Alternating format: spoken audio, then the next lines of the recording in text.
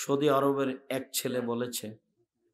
আপনার ফতুয়াতে নাকি একশোটি ভুল ও ফতোয়া দেখ তারপরে বুঝবে কি করে। আমাদের ফতোয়ার বিষয়ে যে যাই বলুক মানুষ কিছু বলতে পারে। মানুষ তো আলবানিকেও গালি দিচ্ছে। অথচ আটশো বছরের মধ্যে আলবানির চেয়ে কোনো বড় মাওলানা জন্ম দেয়নি নেয়নি আটশো বছরে। ইবনু হাজার আসকালেন্ডির পরে সবচেয়ে বড় হলেন নাসির উদ্দিন আলবানি। তো আলবানিকে কিন্তু গালি দিচ্ছেই, আমাকেও দিতে পারে। আমার ফতোয়া ভুল বলতে পারে, বলাই স্বাভাবিক। তবে আমার ফতোয়ার স্বাভাবিক আরও পাঁচজনের ফতোয়াতে একটু পার্থক্য আছে এই জন্য যে আমি ২৬ বছর থেকে নিজে হাতে ফতোয়া লিখি। আর ছয় বছর থেকে ফতোয়া বোর্ড আমি পরিচালনা করি। আমার সামনে প্রত্যেক মাসে বড় বড় বিদ্যান বারো জন বসে থাকেন। যে আমার ফতো আর আর একজনের ফতোয়া একরকম হতে পারে না। আর যেই বলছে সে হয়তো পড়তেই জানে না। বলার কাজ তো বলছে। যারা এরকম অহংকার করেছে, তাদেরকে আমি বারো বছর পড়াতে চেয়েছি, সে যেখান থেকে আসুক না কেন। ওর ঘুঘুরা তুলে দেবো আমি। একটু আসুক না মাঠে, একটা বাক্য বক্তব্য দেখ না মাঠে মানুষের সামনে। দুটা ফতোয়া মানুষের সামনে দেখ না, কেমন মায়ের বেটা আছে। ওকে তো বলেছি আমি যে তোমাকে আমি বারো বছর পড়াবো, এক যুগ। এক যুগ তুমি যেখান থেকে পড়ে আসো, পৃথিবীর যে কোনো প্রান্ত থেকে পড়ে আসো। ষোলো বছর পড়েছি, পড়ার পর থেকে বোখারি পড়ায় আজ পর্যন্ত। চৌত্রিশ বছর থেকে শিক্ষকতা করি, অষ্টআশির আগস্টের বিশ তারিখ রোজ বুধবার থেকে শিক্ষক। অষ্টআশির আগস্টের বিশ তারিখ রোজ বুধবার থেকে শিক্ষক। নব্বই সাল থেকে বক্তব্য দিই জাতির সামনে। আর ছাব্বিশ বছর থেকে ফতোয়া লিখি। তোমার বিদ্যা বেশি আমার চর্চা বেশি। তুমি মাঠে নেমেই দেখো।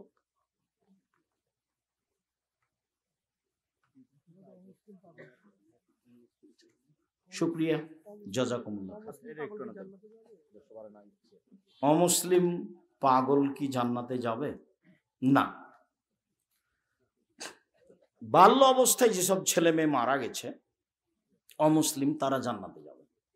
বড় হওয়ার পরে যারা ইসলাম কবুল করেনি তারা জান্নাতে যাবে না। কাউকে আল্লাহ জান্নাতে দেন তার ব্যক্তিগত ক্ষমতা সেটা ভিন্ন কথা। শুক্রিয়া। জাজাকুমুল্লাহ খায় আল্লাহ আমাদের যারা মারা গেছে, তুমি তাদের কবরের শাস্তি মাফ করো। আমরা যারা অসুস্থ, তুমি তাদের আরোগ্য দান করো। আমরা যারা বেঁচে আছি, তুমি তাদেরকে তোমার রাসুলের পদ্ধতি অনুযায়ী চলার তৌফিক দান করো। আজকের আলোচনা মেনে চলার তৌফিক দান করো। পুরুষ নারীর নীতিতে নারী পুরুষ, পুরুষই নারী। এটা একটা মধ্যম লিঙ্গের মানুষ। এইটা একটা নোংরামি, আসলে দুঃখিত। আমরাই যদি সচেতন না হই, তাহলে তো এক শ্রেণির মানুষ সুযোগ নিয়ে আছে, আমাদেরকে পশু প্রাণী করতে চাই সেটাই আমাদের অবস্থা এখন যা আমরা বুঝছি।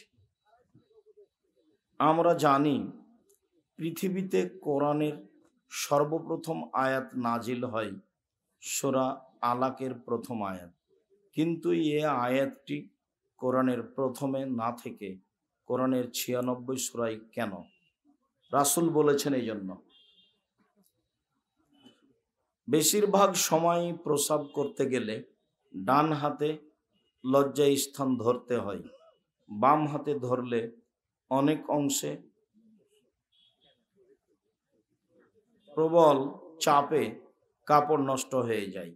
সেটা ভিন্ন কথা। বাম হাতেই ধরতে হবে। বাম হাত নাই তো ডান হাত। বাম হাতেই ধরতে হবে এটাই আদেশ। এটাই পার্থক্য হচ্ছে ইহুদি খ্রিস্টানদের সাথে।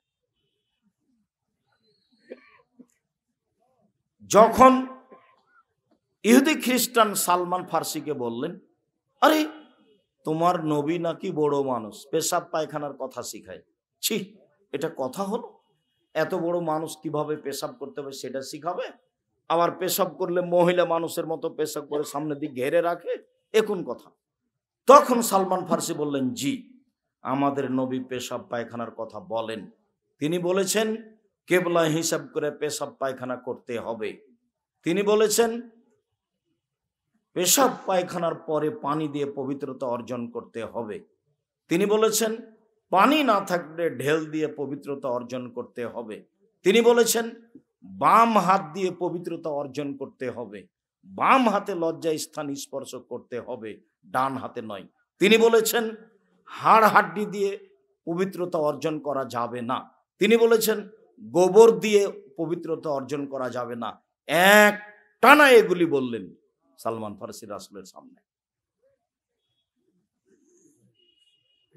মাঝাবি মসজিদে মাগরিব সলাতের পূর্বে দুরেকাত সলাত আদায় করার সময় দেয় না।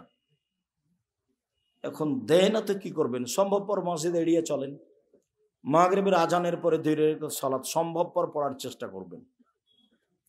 স্ত্রী সহবাসের সময় দোয়া পড়তে ভুলে গেলে সহবাস চলাকালীন দোয়া পড়ার বিধান আছে কি? পড়বেন, কোনো সমস্যা নেই। একদল আলেম বলেছে, আসরের সলাৎ একাকী হলেও আউয়াল লক্তে আদায় করতে। আরেক দল বলেছে, জামাতের সাথে দেরি করে। প্রথম অক্তেই পড়তে হবে, একাই হলেও এটাই ঠিক। একজন ব্যক্তিকে কসর করতে হলে কতটুকু দূরত্ব? দূরত্ব নেই। দূরত্বের পরিমাণ নেই। বাড়ি থেকে যখন বের হচ্ছে, তখন যদি নিজেকে মনে করে মোসাফির, তাহলে বাড়ি থেকে বের হয়ে যেখানেই টাইম হবে, সেটা দুবলা গাড়িতে হোক, আর সেটা আপনার নয় মাইলে হোক, আর সেটা আপনার শেরপুরে হোক, আর না হলে যমুনা ব্রিজে হোক, যেখানেই হোক না কেন, বাড়ি থেকে বের হওয়ার পরে সলাতের টাইম হলেই কসর করবে।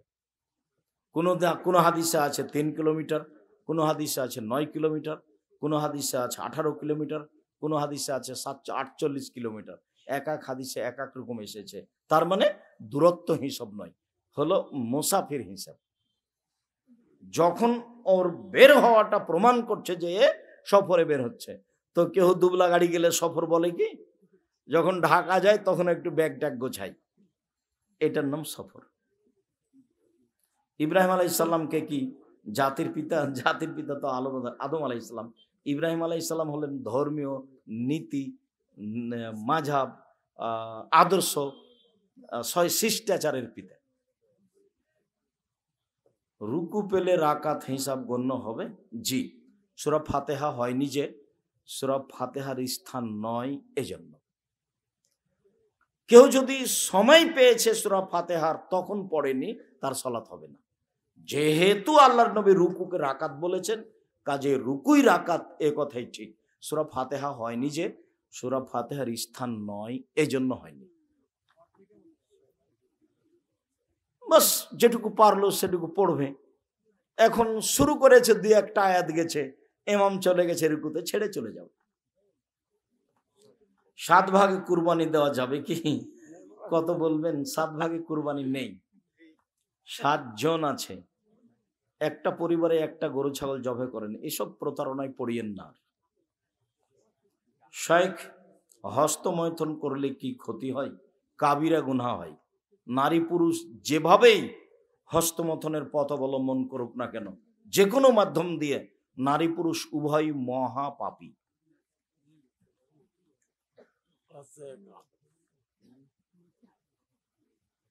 আমি ফজরের নামাজ মসজিদে এত কমো এত সময় নেই আমার কাছে। রাত অনেক হয়ে গেছে। কত বাজে?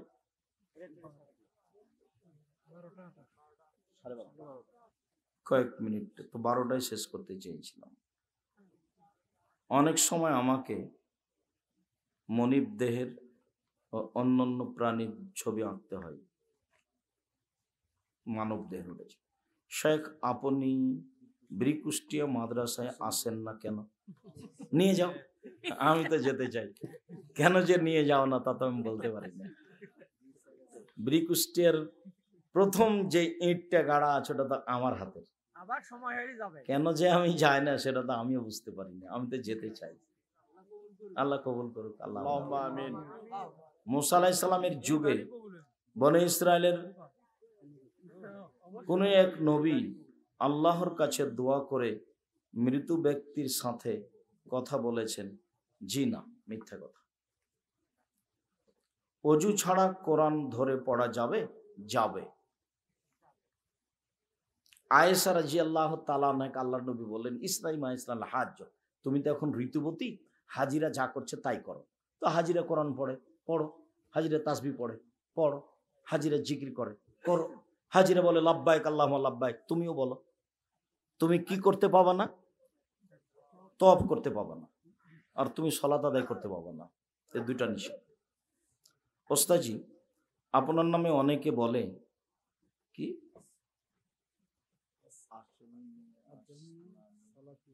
জামিয়া সালাফিয়া মাদ্রাসার জন্য জোর করে জমি দখল করানো ও কিনা জমি তো যে জমি বিক্রি করেছে তার ছেলে আবার সেই জমি বিক্রি করতে চাচ্ছে। তো সেটা কেমন করে হবে? প্রাচীর দেওয়া আছে তখন বলছে যে জমি দখল করেছে। তো জমির বিষয়টা যে কত জটিল, সেটা তো আমাদের জানা ছিল না। এখন প্রতিষ্ঠানের খাতিরে জমি কিনতে হচ্ছে, যার জন্য এগুলো দেখা যাচ্ছে। আমি জীবনে কোনোদিন মানুষের ক্ষতি করা প্রয়োজন মনে করি না, করিও নি করব না। ওরা বুঝতে চায় না, ওরা দেড় লক্ষ টাকা শতক জমি, দশ লক্ষ টাকা শতক বিক্রি করছে, জামিয়া সালাফের কারণে। তো যেখান থেকে সুবিধা পাচ্ছে, তাদের বক্তব্য বদনাম করবে, এটাই ঠিক। তারা আসলে করতো না এক শ্রেণির হুজুর বলছে যে যে কোনো মূল্যে জামিয়া সালাফের কাজ ঠেকাতে হবে।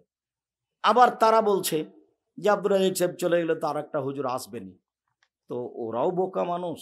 আর যে হুজুর এসব প্রস্তাব দিচ্ছে সেও বোকা মানুষ। ও জানে জামিয়া সালাফে রূপগঞ্জ, নারায়ণগঞ্জে প্রায় দেড় হাজার শতক জমি কিনা আছে, সব নেবরাসের নামে কিনা আছে।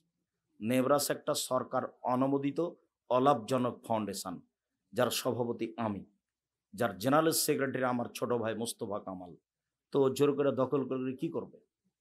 দেড় হাজার শতক প্রায় জমি কিনা আছে, সব নেবরাসের নামে আছে। তো বিরোধিতা করে যতদিন টিকে, চলছে এক সময়, থাকবে না ইনশাল্লাহ। এক ব্যক্তির দুই হাতই নেই, কিন্তু সে ব্যক্তি অজু করবে কীভাবে? অজু করা লাগবে না। অজু তার করা লাগবে না। যদি কেউ থাকে, তাহলে মাটি দিয়ে তার মুখমণ্ডলটা মাসা করে দিবে।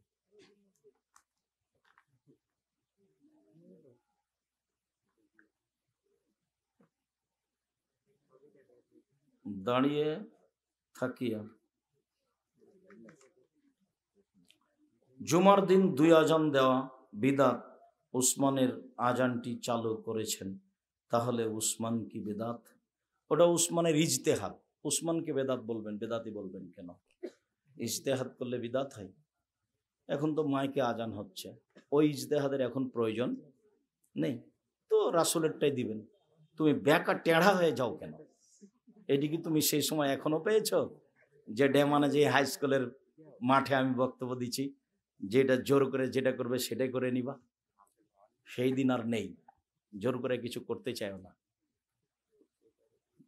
তোমার ড্যা- ড্যামাজানি হাই স্কুলের অবস্থা আমার খুব মনে পড়ে। শেখ।